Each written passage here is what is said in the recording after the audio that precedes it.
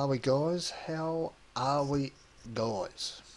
Welcome back to Fishing Planet. I'm fishing in Texas today. I'm actually stoked about this one. I just caught myself a historic spotted bass.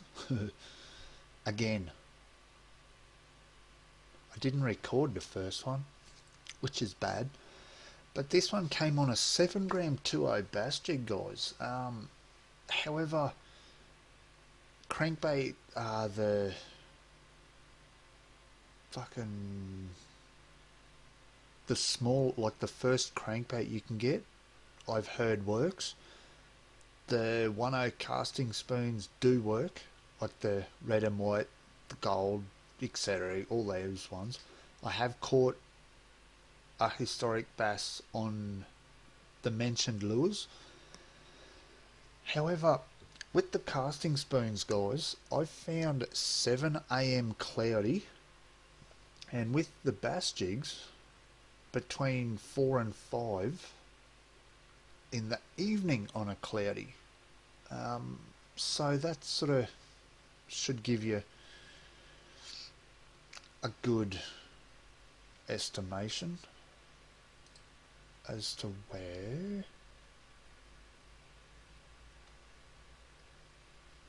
you can go.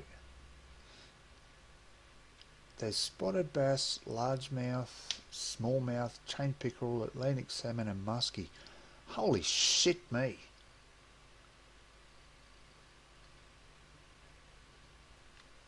That's a lot.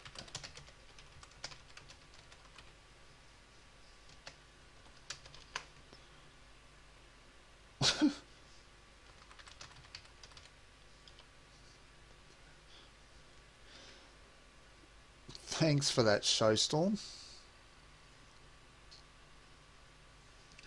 Um, and yeah, guys, it is a thousand gold, and honestly, I think the easiest way to do that is to farm the white crappies in Missouri. But I'll just show you guys real quick. When I'm fishing with the bass jigs, I'm casting just up in here. I'm going to go a real speed of 3, tension of 2 with this gear. However, different gear it will vary so don't quote me on this setup on this exact reeling technique unless you're using this exact setup. I'm going to go two reels for a stop and go.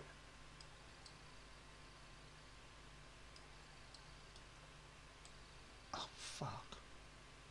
I missed him. That's how I fish for these ones guys. Um, with the bass jig I should just quickly add that.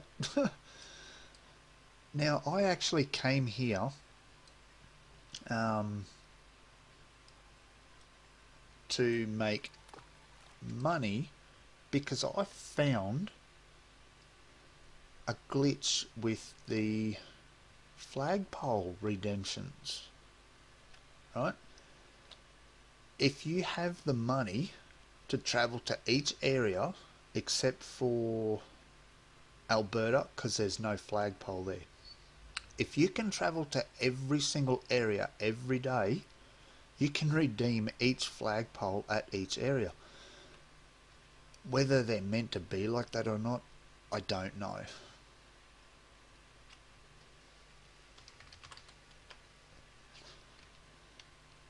Now I'll just switch over to my spoon real quick.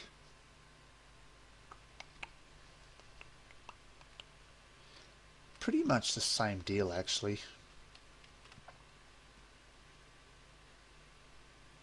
Okay, there you go. There's... Wow.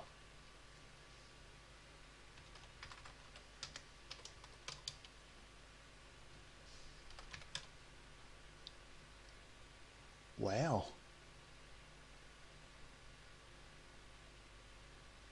Well, there you go, guys. The 3 foot 30 crawfish crank at 5:30 a.m. cloudy. The 7 a.m. cloudy with the 10 spoons. 4 to 5 with the bass jigs. So I dare say that they're all day long.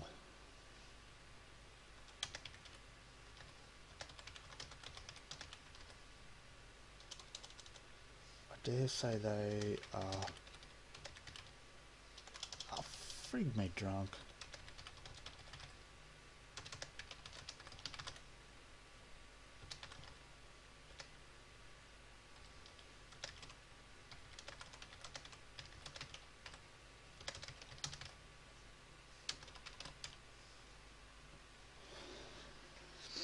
But yeah, anyway, guys, I'll just finish this up for you. Sorry about that.